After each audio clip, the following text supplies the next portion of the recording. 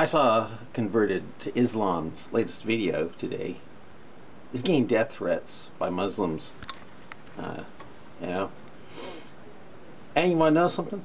If they are successful in killing converted to Islam, they'll be killing him for a religion whose founder, Muhammad, uh, taught that the sun not only ran to a resting place to set in a muddy spring, but then after prostrating under the throne of Allah, uh, asked, or, or after, then after it seeks permission to rise again.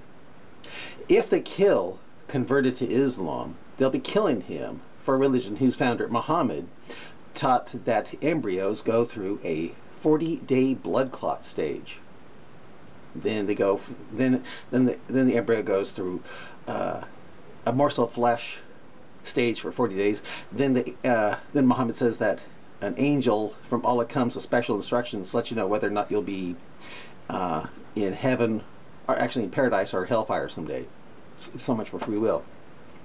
If they are successful in killing converted Islam, they will be killing him uh, for a religion that has Quran 36, 40 43 that infers that the sun and moon travel in boats similar to that of Noah, which according to Muhammad in Al-Tabari hadith is not really a boat or boats, but a chariot, and that according to Muhammad, the if the sun falls out of that chariot, it causes a solar eclipse. Yeah, uh, the Quran says that the the sun can't catch up to the moon. You know, well.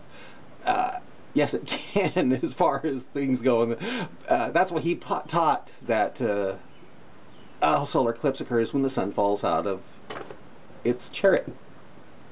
If they are successful in killing converted to Islam, they'll be killing him for a religion, Islam, that has the Quran say it confirms the before scriptures, Bible, and all Muslims believe the Bible to be corrupted.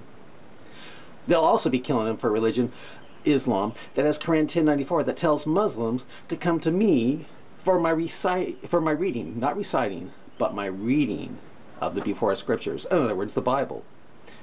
You know?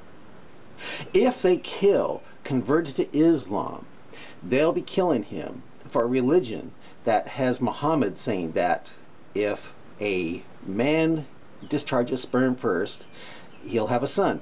And if a woman discharges sperm first, eh, she'll have a daughter. In other words, if you want a girl, do foreplay with the wife.